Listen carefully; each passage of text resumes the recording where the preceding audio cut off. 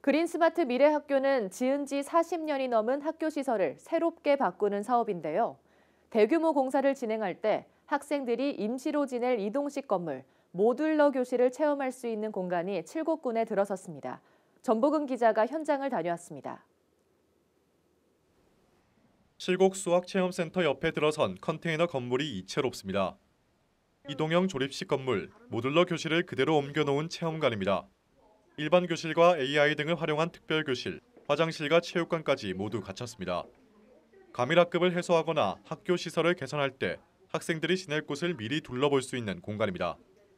학생 임시 수용을 위해 설치하는 모듈러 교실에 대한 사용자와 학부모들이 직접 체험과 견학을 통해서 어, 학, 학생과 학부모들의 불신과 안전성에 대한 이해를 돕기 위해 설치하게 되었습니다. 정부는 2021년부터 오래된 학교를 탈바꿈하는 그린 스마트 스쿨 사업을 추진하고 있습니다. 경북에선 올해까지 141곳이 대상 학교로 선정됐고 차례대로 시설 개선 공사를 진행할 예정입니다. 해당 학교에는 대부분 모듈러 교실이 속속 들어설 전망입니다. 24년도, 25년도 사업에 대해서도 교육부의 추진 계획에 따라서 지속적으로 대상 학교를 발굴해서 선정 추진할 계획입니다. 모듈러 교실이 학교 시설 개선 과정에서 대안교실로 떠오르는 가운데 해결해야 할 과제도 적지 않습니다. 운동장을 비롯한 기존 학교 공간이 좁아져 안전 문제가 발생할 수 있고 제조사별로 품질 차이가 난다는 분석도 나옵니다.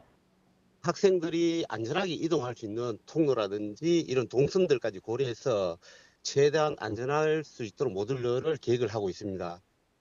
경북교육청은 그린 스마트 스쿨 사업이 본궤도에 오르는 올해 말까지 모듈러 교실 운영에 관한 대책을 마련할 계획입니다. HCN 뉴스 전보글입니다.